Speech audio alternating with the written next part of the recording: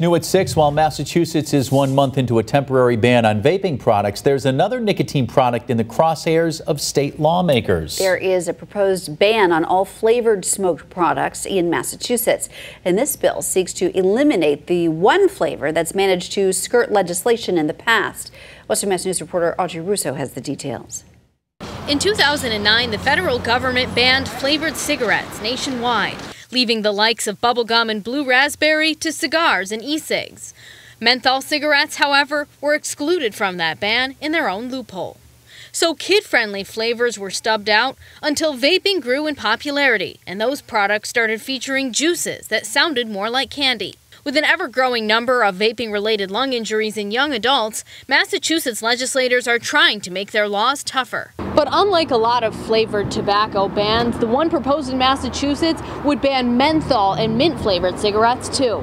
Menthol outsells anything else. David Glantz, owner of Buckeye Brothers Smoke Shop, tells Western Mass News the ban on menthol cigarettes would do more damage to his business, adding insult to injury after he was forced to stop selling vapes last month. On my cigarette categories, probably like uh, 80% it would knock out.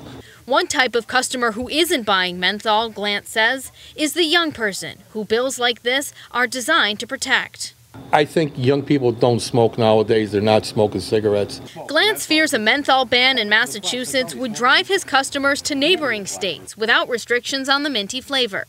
But if the elusive menthol were to finally fall victim to a nationwide ban like all the other flavors, Glantz says he doesn't think smokers will give up the habit. If there's a menthol ban, they'll, sm they'll smoke something else. It's, I don't think that'll stop people from smoking. In Springfield, Audrey Russo, Western Mass News.